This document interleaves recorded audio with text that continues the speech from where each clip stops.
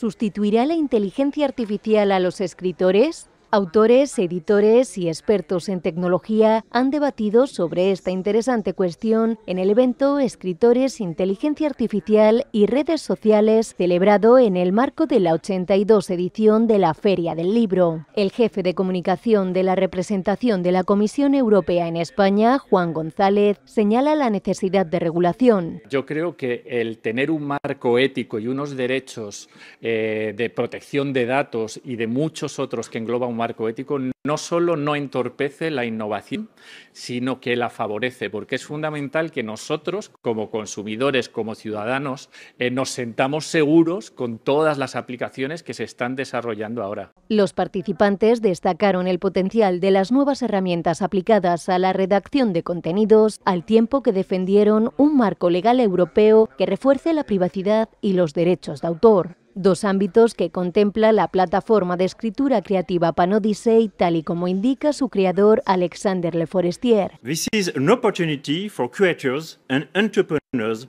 in the cultural and creative industries. Se trata de una oportunidad para creadores y empresarios de las industrias culturales y creativas. Podemos crear juntos un ecosistema equilibrado y responsable conciliando la ética y lo digital. La diversidad en Europa es un activo importante para crear nuevas soluciones que sean respetuosas con las personas y la naturaleza.